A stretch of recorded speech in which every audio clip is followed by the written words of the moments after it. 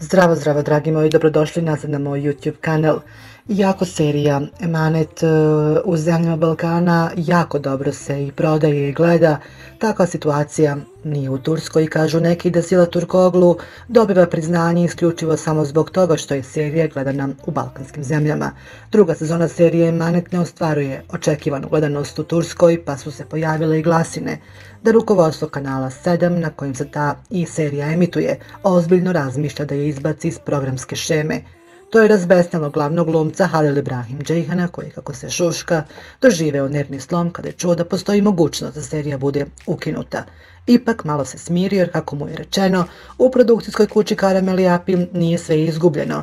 Čak i ako Kanal 7 prestane sa emitovanjem Emanet, snimanje će se nastaviti jer se serija odlično prodaje u inostranstvu.